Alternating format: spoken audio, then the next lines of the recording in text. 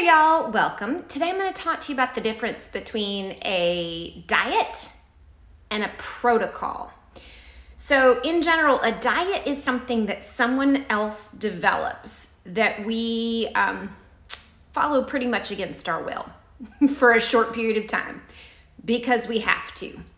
A protocol is a plan that we develop for ourselves that supports us in hitting our goals not just with how we look, but long term with our nutrition, with our mental health, with how we feel.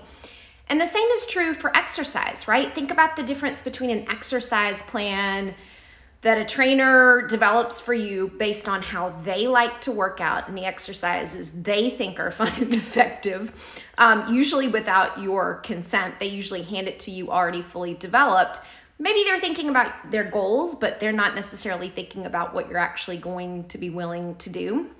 Um, it's usually a little too realistic versus a protocol that you develop for yourself that's realistic and that you can always fall back on and that you start with the intention to do it for life. And I'll give you some examples. So let's say I have, um, and I do, my exercise protocol is Monday through Thursday, I drive down to downtown Stuart. On Tuesdays and Thursdays, I do yoga. But whether or not I do yoga before, I meet my husband after his work and we go for a walk downtown Stuart. It's usually about 30, 45 minutes. We catch up on the day.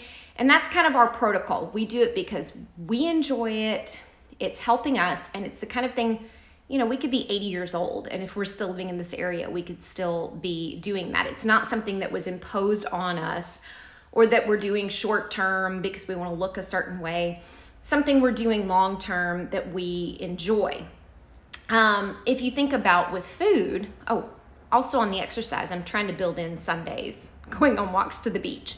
And the great thing about a protocol like that is if something knocks me off track, it's no big deal. I just go back to the default. So if there's a networking group that I want to attend on a Wednesday night that conflicts, I can go. But then the following Wednesday, it's not like, oh God, I'm all messed up. I just go back to my default, back to my protocol. And it's the same with food. I have certain things that I like to have for lunch. My go to is a salad.